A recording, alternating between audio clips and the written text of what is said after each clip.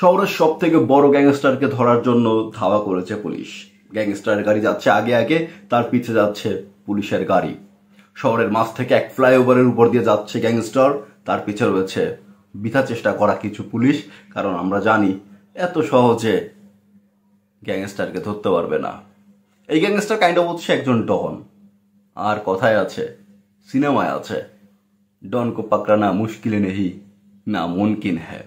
আর এই মুহূর্তে বাংলা সিনেমার ডন, বাংলা সিনেমার তুফান হচ্ছে শাকিব খান এবং তাকে ধরাটা মুশকিলে নেই। না, মুমকিন হ্যাঁ।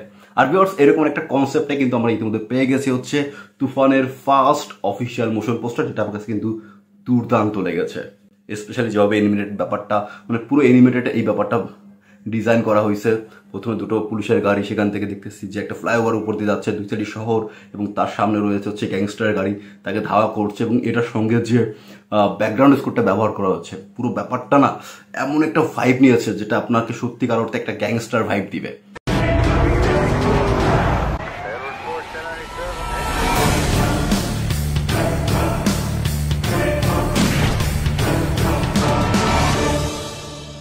টান টান একটা বিটটা দুর্দান্ত লাগছে আমার কাছে।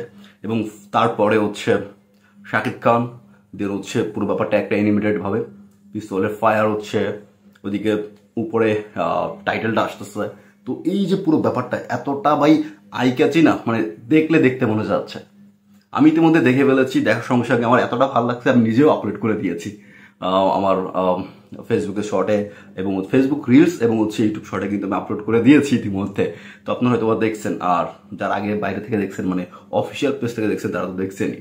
আমি জানি হচ্ছে এইগুলো আপলোড করা উচিত না বাট আমি তারপর ক্রেডিট দিয়ে আপলোড করেছি, কারণ আমার কাছে এতটা ক্যাশই লাগছে, আমি নিজেকে হোল্ড করতে পারি নাই। আর তখন হচ্ছে আবার একটু ঝামেলা চলতেছিল নেটওয়ার্কে ওকে তো ওই নেটওয়ার্ক ইস্যু দেখে আসলে ভাবলাম যে তাড়াতাড়ি একটু আপলোড করি, পরে রিল্যাক্সে হচ্ছে ভিডিও করব। তো এখন রিল্যাক্স হয়েছি ফেসবুক টেসবুক সব কিছু ঠিক হয়ে গেছে। তো এখন আর প্যারা নাই। জুকারবাগ ভাই হচ্ছে, মার্ক জুকারবাগ ভাই হচ্ছে আম্বানির বিয়ে খেতে খেতে ভুলে গেছিল যে আমরা কিছু ইউজার রয়েছি, তার ফেসবুক প্ল্যাটফর্মটা চালাই। তো হঠাৎ করে তার মনে পড়ছে যে হয়তো বা কোনো ইস্যু হয়েছে সে আবার ঠিক করে দিছে। তো এখন সব ঠিক। একটা গ্লিস হয়েছিল আর কি। ওকে তো সেই গ্লিসটা ঠিক হয়ে গেছে, এখন সমস্ত কিছু রিল্যাক্সে আছে। তো ভাবলাম যে এখন একটু ভিডিওটা শেয়ার করি আপনাদের সঙ্গে। মানে তুফানের মোশন পোস্টারটা দেখার পর আমার যে অনুভূতি সেটা আপনাদের সঙ্গে শেয়ার করি। তো সেটা শেয়ার করলাম, ভাই, আমার কিন্তু দুর্দান্ত লাগছে। মানে বিটটা কি?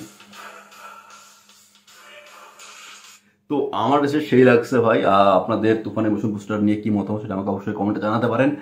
আর, খুব শীঘ্রই তুফান সম্পর্কে বাকি যে আপডেটগুলো রয়েছে লাইক হচ্ছে ভিলেনকে নায়িকাকে সেগুলো আমরা পেতে চলেছি তো জাস্ট কয়েকটা দিন অপেক্ষা করেন।